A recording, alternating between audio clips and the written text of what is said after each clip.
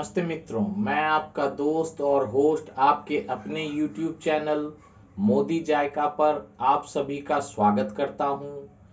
आज हम बनाने जा रहे हैं कच्चे केले का कोफ्ता, जिसके लिए हमने तीन पीस केले लिए हैं अब इन केलों को जो है, हम जो है कुकर में जो है पकाएँगे उससे पहले जो है, केले के दोनों साइड के जो है को काट लेंगे इस प्रकार से।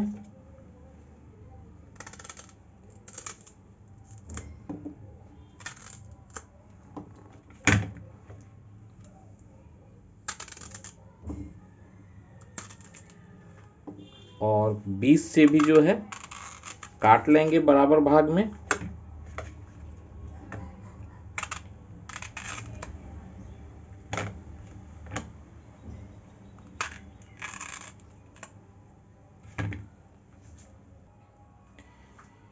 इनको अब जो है कुकर में डाल के पाँच मिनट के लिए पका लेंगे या एक सीटी तक पका लेंगे इनको।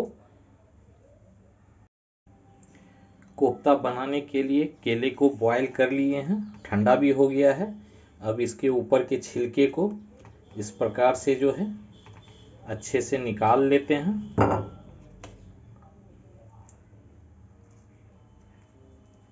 सभी को इस प्रकार से निकाल लेंगे।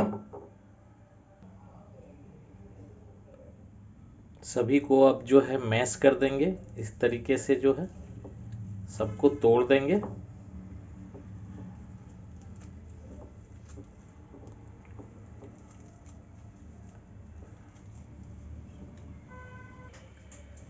बॉयल केले को अच्छे तरह मैश कर दिए हैं। अब इसमें जो है बारीक कटी हुई एक प्याज को ऐड कर देते हैं। दो लहसुन की कलिया को भी बारीक काट लिए हैं, इसे भी डाल देते हैं। एक इंच अदरक को भी बारीक काट लिए हैं और दो हरी मिर्च भी बारीक काट दिए हैं, इसे भी ऐड कर देते हैं।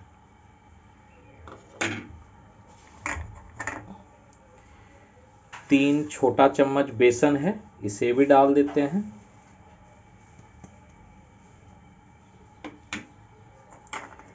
स्वाद अनुसार नमक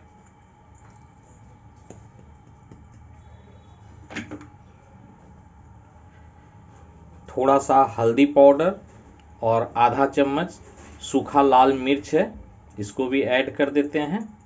आपको जितना तीखा खाना हो, उसके अनुसार जो है, ऐड करें। हाफ़ चम्मच चाट मसाला है, इसे भी ऐड कर देते हैं।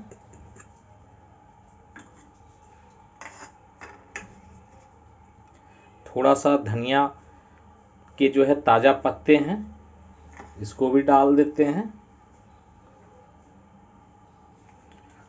और एक चुटकी जो है खाने का सोडा है, मीठा सोडा, इसको भी डाल देते हैं और इन सभी को अच्छे से मिक्स कर देते हैं।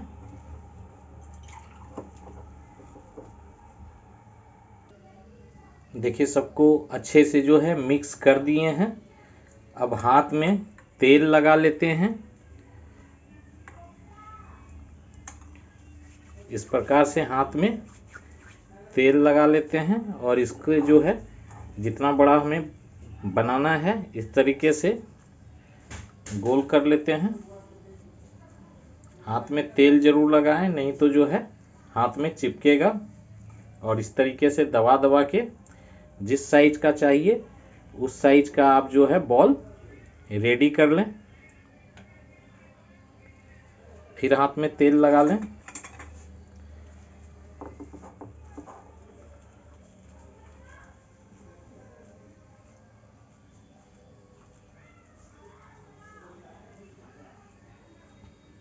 सारे बॉल को इस प्रकार रेडी कर लें।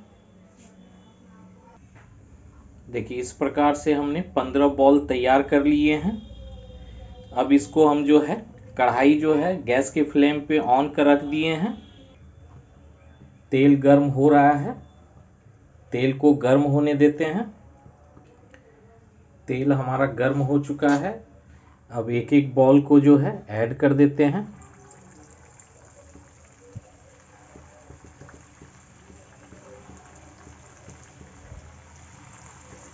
एक साथ जितना बॉल जो है आएगा, उतना ही डालेंगे।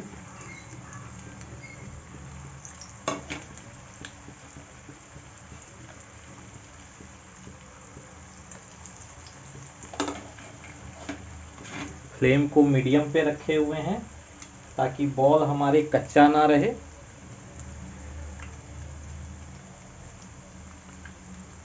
लगभग चार से मिनट पाँच मिनट में ये पक के तैयार हो जाएगा बॉल हमारे।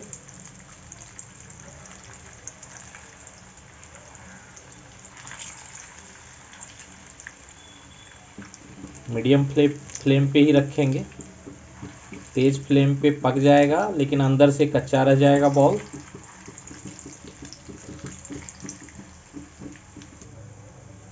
देखिए बॉल हमारे अच्छे से पक चुके हैं। चारों साइड जो है गोल्डन ब्राउन कलर हो गया है। लगभग पाँच मिनट लगा हमें इसे पकाने में। अब हम इसको निकाल लेते हैं। और इसी प्रकार सभी बॉल को अच्छे से जो है पका लेंगे।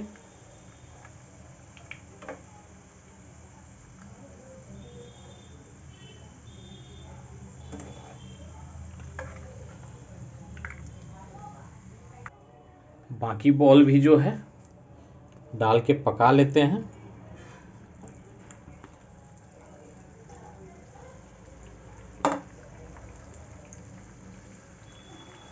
और इसे भी उसी प्रकार पका करके निकाल लेंगे। ग्रेवी के लिए हमने दो टमाटर लिए हैं। एक प्याज दो हरी मिर्च एक इंच अदरक और छः लहसुन की कलियाँ लिए हैं। इसके साथ 100 ग्राम जो है मूंगफली लिया है। इसको जो है भून करके छिलके को उतार दिया है। इनको बा, बारीक जो है पेस्ट बना लेंगे। टमाटर और प्याज का भी पेस्ट अलग अलग बना लेंगे। टमाटर को मिक्सी जार में जो है, पीस लिए हैं। मूंगफली को भी पीस के पेस्ट तैयार कर लिए हैं। और प्याज, लहसुन, अदरक को भी पीस के जो है, रेडी कर लिए हैं इन सभी को ग्रेवी के लिए। चलिए गैस के फ्लेम को ऑन करते हैं और कढ़ाई रखते हैं गर्म होने के लिए। गैस को रख दिए हैं। फ्लेम ऑन कर दिए हैं। तेल गर्म होता है। दो छोटा चम्मच तेल डाले हैं इसमें गर्म होने के लिए। तेल जब तक गर्म होता है हमारा। तेल गर्म हो चुका है। अब जीरा को डालते हैं।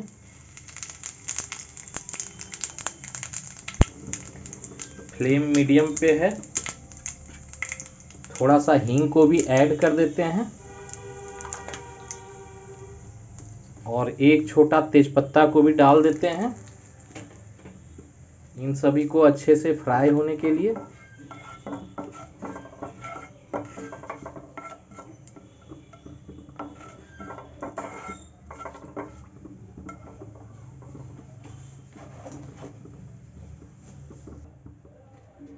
छोटा हाफ़ चम्मच जो है, हल्दी पाउडर को भी ऐड कर देते हैं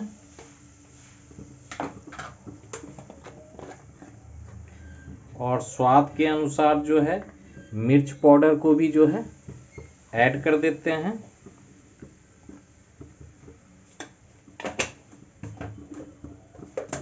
और एक चम्मच जीरा और धनिया पाउडर को भी जो है, ऐड कर देते हैं। और इन सबको अच्छे से जो है, फ्राई कर लेते हैं इसमें।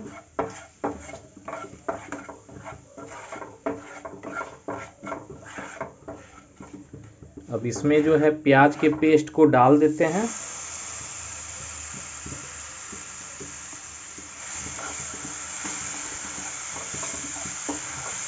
और अच्छे से इसको भी प्याज के साथ फ्राई कर लेते हैं।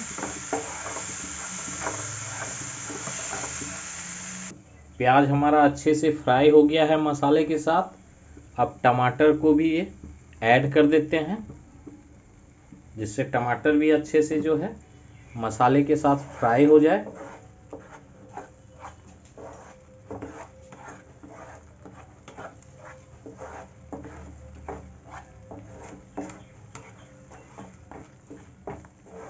जब तक टमाटर से जो है तेल अलग ना हो जाए, तब तक हम इसे अच्छे से पकाएँगे। मूंगफली के भी पेस्ट को जो है ऐड कर देंगे। मूंगफली के पेस्ट को भी इसके साथ, मसाले के साथ अच्छे से जो है पका लेंगे।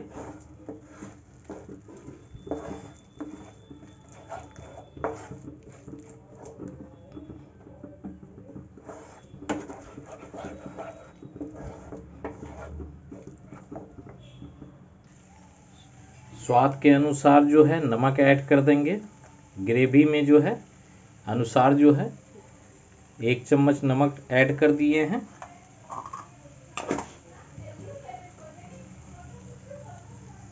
अब इन सबको अच्छे से जो है, मसाले जो है, लगभग हमारा तैयार हो चुका है।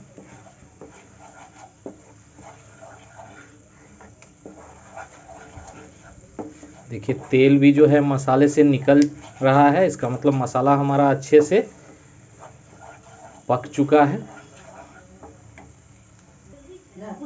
जितना ग्रेवी के अनुसार जो है इसमें पानी को ऐड कर दें। जितना ग्रेवी रखना हो उसके अनुसार जो है मिक्स कर दें और इसे तीन चार मिनट जो है ढक के पका लेंगे अच्छे से, जब तक जो है उबाल नहीं आ जाता, एक दो उबाल नहीं आ जाता।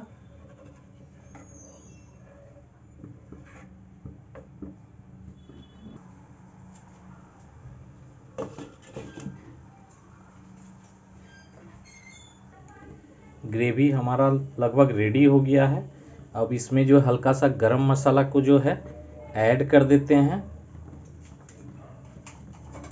और थोड़ा सा कटा हुआ धनिया के पत्ते को भी जो है, इसमें डाल देते हैं। और एक मिनट और ढक के पकाते हैं।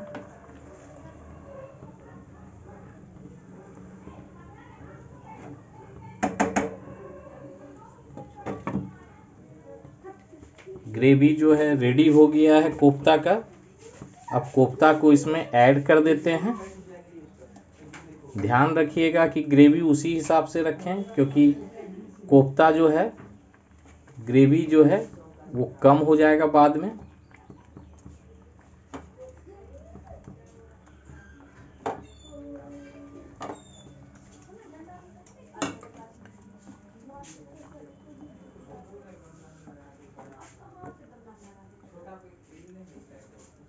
एक से दो मिनट और इसे जो है पकाएँगे मीडियम फ्लेम में।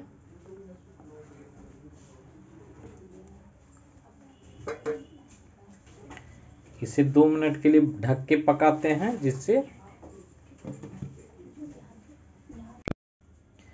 देखिए दोस्तों, हमारा कोफ्ता जो है, केले का कोफ्ता बन के रेडी हो गया है। कितना सुंदर जो है, बना है, बहुत ही टेस्टी बना है। इसको आप चावल के साथ, रोटी के साथ, पराठे के साथ या चपाती के साथ जो है, अच्छे से खा सकते हैं। बहुत स्वादिष्ट बना है। दोस्तों, अगर मेरा वीडियो आपको पसंद आया हो तो लाइक करें, सब्सक्राइब करें, जो है, जिससे हम जो है, ज़्यादा से ज़्यादा वीडियो आपके सामने लेके आ सकें और बेल के आइकन को भी दबा दें। धन्यवाद।